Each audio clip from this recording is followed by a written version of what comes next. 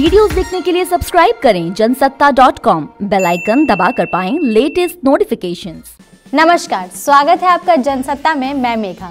वरुण धवन और श्रद्धा कपूर की street dancer और कंगना की पंगा ने बड़े पर्दे पर एंट्री मार ली है। दोनों ही फ़िल्मों को लेकर क्रिटिक्स की अलग अलग राय है। ऐसे में हम लेकर आए हैं इन दोनों फ़िल्मों का रिव्यू तो देखिए ये पूरी रिपोर्ट और खुद फैसला कर लीजिए कि आपको कौन सी फ़िल्म देखने जानी चाहिए।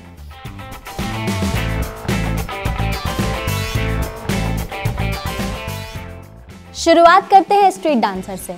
अगर आप उन लोगों में से हैं जिन्हें डांस रियलिटी शो काफ़ी पसंद है, डांस का काफ़ी ज़्यादा शौक है तो ये फ़िल्म आपके लिए ही बनी है। रेमो डिसूजा को जानते हैं? पहले ए बी सी डी लेकर आए थे और बाद में A B C D two दोनों ही फ़िल्मों का बिज़नेस काफ़ी अच्छा रहा था और इन्हीं दोनों फ़िल्मों की तीसरी कड़ी है स्ट्रीट डांसर। सबसे पहले बात करते हैं फ़िल्म की कास्टिंग की। फ़िल्म में लीड एक्टर्स हैं वरुण धवन, श्रद्धा कपूर और नोरा फतेही।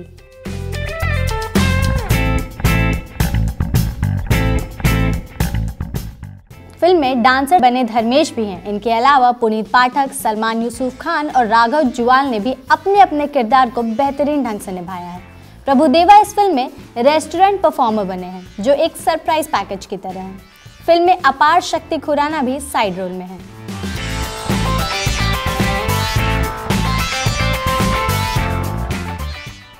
फ़िल्म की पूरी शूटिंग लंदन में हुई, जिसमें वरुण धवन और श्रद्धा कपूर को अलग अलग टीम का लीडर दिखाया गया है। पहला एनआरआई का ग्रुप है, जिसके लीडर सहेज, यानी वरुण धवन है।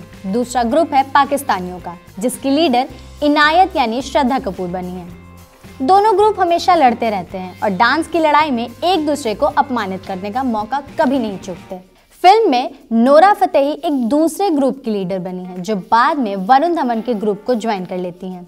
नोरा फतेही ने पूरे फ़िल्म में अपने डांस मूव से सबका दिल जीत लिया है। आपको फ़िल्म में शानदार डांस मूव्स देखने को मिलेंगे।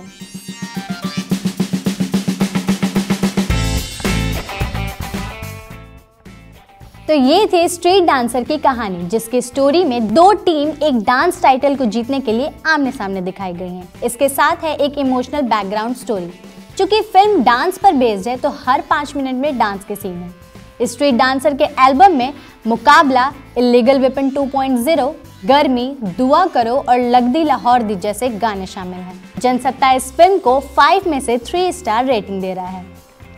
अगर आप डांस के दीवाने हैं तो ये फ़िल्म देखने जा सकते हैं। अब रुक कर लेते हैं पंगा मूवी की तरफ़। शादी और माँ बनने के बाद अपने पैशन पर फोकस करने की कोशिश करने वाली महिलाएँ एक ऐसा मुद्दा है, जिसे बॉलीवुड ने विस्तार से जानने की कभी जहमत नहीं उठाई।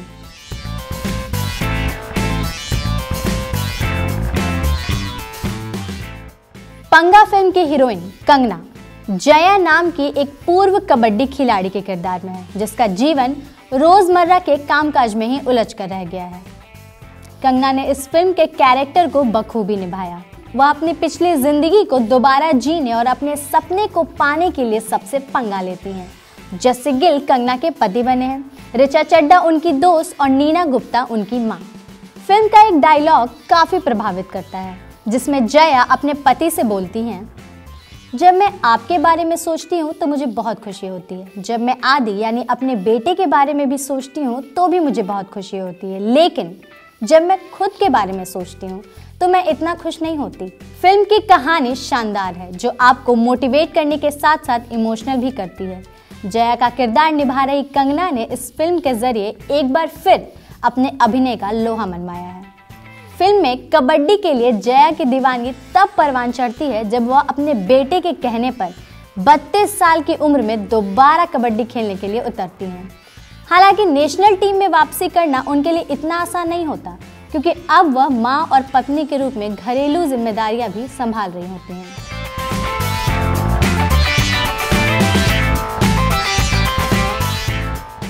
फ़िल्म में कंगना के अलावा बाकी किरदारों ने भी अपना अपना रोल शानदार तरीके से निभाया है। चाहे वह जस्सी गिल द्वारा निभाया गया एक सपोर्टिंग हस्बैंड का किरदार हो, या रिचा चड्डा का एक मुफट दोस्त का रोल। यज्ञ भसीन जया के बेटे बने हैं। नीना गुप्ता ने भी काफ़ी अच्छी एक्टिंग की है। इस फ़िल्म के गाने, पंगा का टाइटल ट्रैक दिल ने कहा, जुगनू, बिब्बी सॉन्ग और वही है रास्ते भी काफ़ी अच्छे हैं। जनसत्ता इस फ़िल्म को थ्री स्टार रेटिंग दे रहा है। अगर आप भी अपनी माँ की मेहनत, जज्बे और समर्पण के कायल हैं तो उन्हें यह फ़िल्म दिखाकर शानदार तोहफा दे सकते हैं। अब आपके सामने हैं दोनों फ़िल्मों के शॉर्ट रिव्यू। शुरुआती कहानी, एक्टिंग व रिव्यू रेटिंग हमने आपको बता दी है। आप इन दोनों में से कौन सी फ़िल्म देखना पसंद करेंगे, हमें बताएँ कमेंट बॉक्स में। आप दोनों फ़िल्में भी देख सकते हैं और उनकी प्रायोरिटी भी तय कर सकते हैं। बॉलीवुड की दुनिया में तमाम घटनाएँ होते रहती हैं। इसके अलावा मूवी के रिव्यूज़ और सीरियल्स आदि के डिटेल्स के लिए। जिन्हें करीब से जानना चाहते हैं तो जुड़ जाइए जनसत्ता के साथ और हमारा यूट्यूब चैनल सब्सक्राइब कर लीजिए।